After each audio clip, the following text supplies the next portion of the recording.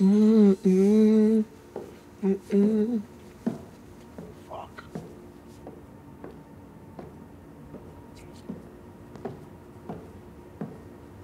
Viper. What up? Welcome. Oh, shit, this guy's a fucking weirdo. Curious. When, why would they give you a nickname, Viper? I'm not. Let's let's let's cut the, the small talk. I'm here to get the cocaine, get the fuck out of here. So I'm gonna put chicks up. Put this money in his bag right here, and now let me see the product. Sure. Would you mind? Oh, my manners. Sorry about that, bro. I can see the man I'm looking at. I think you're going to find this to be uh, extraordinary. Oh shit. All right.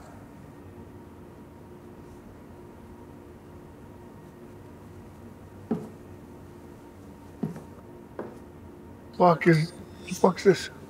It's a family heirloom. Quite beautiful, isn't it? See the resemblance. Kind of looks like you. Sense of humor, Viper. I'm just gonna do this the old school way, right?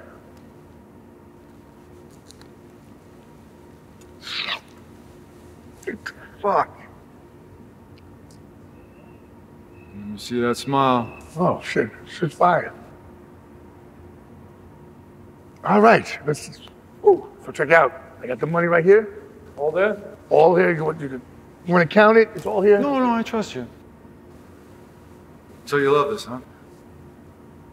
Yes. So listen, uh, I'm just here to get this, that, and I'm out. Right? Well, I got a proposal for you.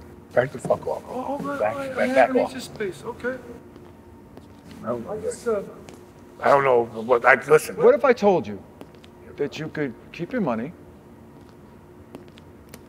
take this wonderful product, and leave? And I just want one thing from Wait, you. wait, wait, wait. wait. Shut. Listen, what's? Your soul. I like your soul. You won't miss it. Wait a second. So you're like a soul snatcher, like oh, like the little red guy with the pitchfork. Like that's what you're trying to tell me right now? Something like that.